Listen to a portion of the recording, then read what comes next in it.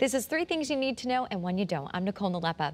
Bob Stefanowski has announced that he is officially seeking the Republican nomination for governor. He made that announcement right at 7 a.m.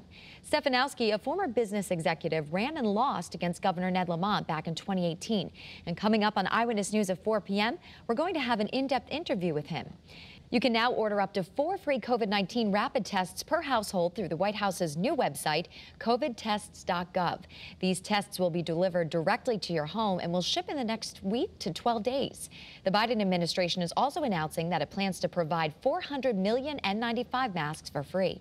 There are new rules if you want to see a UConn game in person at the XL Center in downtown Hartford.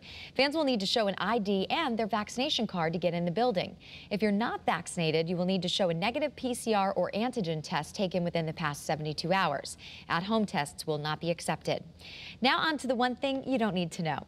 We're drawing closer to the end of the month, which means there are two moods floating around right now when it comes to New Year goals. There are the kind of people who are hitting the ground running, literally, and then those who have lost interest. So which one are you?